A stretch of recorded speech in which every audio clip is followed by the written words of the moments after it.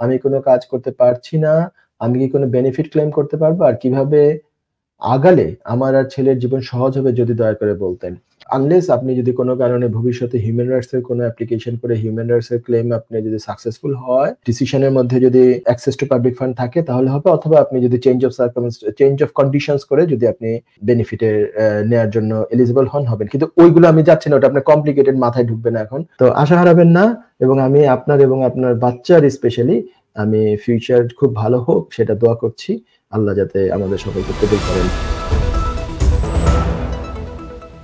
A S মিলি লিখেছেন, আসসালামু আলাইকুম, আমি সেপ্টেম্বরে স্টুডেন্ট ভিসায় আসছি। আমার তিন বছর, চার মাসের এক ডিজেবল ছেলে আছে। আমি কোনো কাজ করতে পারছি না।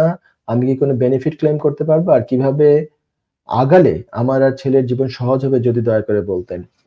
প্রথমটার, প্রথম অংশে বলছে যে, না, আপনার আসলে কোনো পাবলিক ফান্ডে অ্যাক্সেস নাই ইন জেনারেল ঠিক আছে?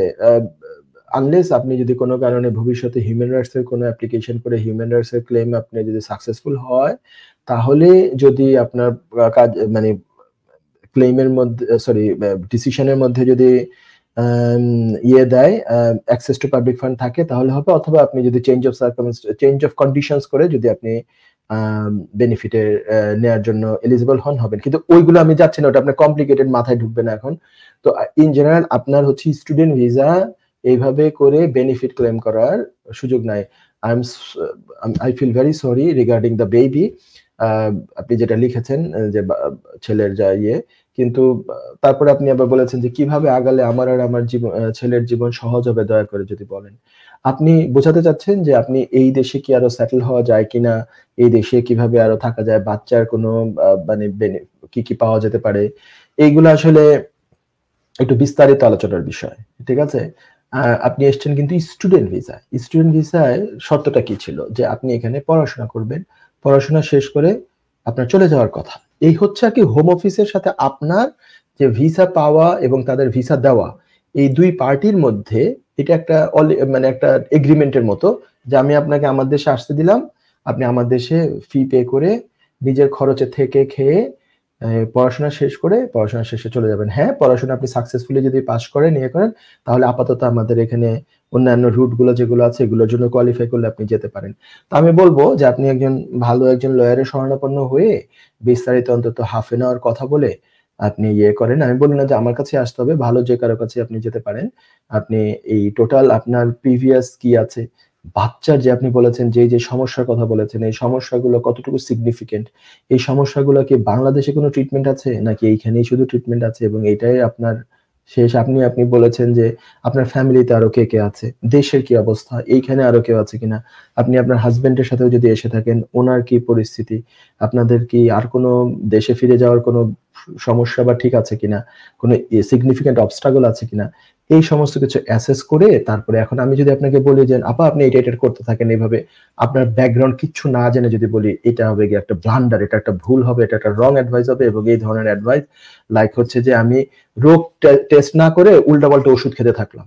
ঠিক আছে? এরকম হবে। আমি যদি, আমি জানি না আমার রোগ কি হয়েছে, একটা কিছু মনে করে একটা আন্দাজে কিছু ওষুধ খাইলাম এটা খেলে কি আমার শরীরের ক্ষতি হতে পারে না? আমি ভুল ওষুধ খেয়ে ফেলতে পারি না? তো আমি এভাবে কিছু না জেনে বলা সম্ভব হবে না। কোনো লয়ারের পক্ষে সম্ভব না।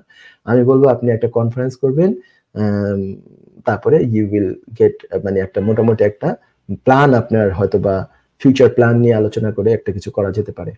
তো আশা হারাবেন না এবং আমি আপনার এবং আপনার বাচ্চার স্পেশালি আমি ফিউচার খুব ভালো হোক, সেটা দোয়া করছি। আল্লাহ যাতে আমাদের সকলকে কবুল করেন। ধন্যবাদ।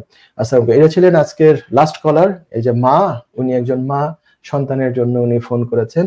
আমাদের জীবনে আপনারা জানেন মায়ের গুরুত্ব কি, মায়ের অবস্থান কোথায়? অনেক সময় মায়ের মাকে নিয়ে ভাবলে আমরা মানে ভাবুক হয়ে যাই যে তারা কীভাবে আমাদের জন্য করেছেন, করেন। সো এনিওয়ে অনুষ্ঠান আজকে শেষ করছি। সবাই ইনশাল্লাহ ভালো থাকবেন, সুস্থ থাকবেন। আগামী অনুষ্ঠান দেখার আমন্ত্রণ জানিয়ে আজকের মতো শেষ করছি। ধন্যবাদ, আসসালামু আলাইকুম।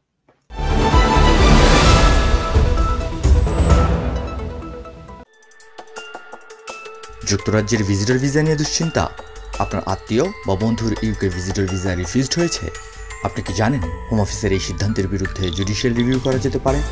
উইলডেন লিগ্যাল সলিসিটার্স নিয়ে এলো ইউকে ভিজিটর ভিসা রিফিউজালের বিরুদ্ধে। নো উইন নো ফি বেসিসে জুডিশিয়াল রিভিউ করার ব্যবস্থা। জি, ঠিকই শুনেছেন। নো উইন নো ফি তার মানে আপনি আমাদের ফি শুধুমাত্র তখনই পে করবেন যখন আমরা আপনার জুডিশিয়াল রিভিউতে সফলতা এনে দিতে পারব।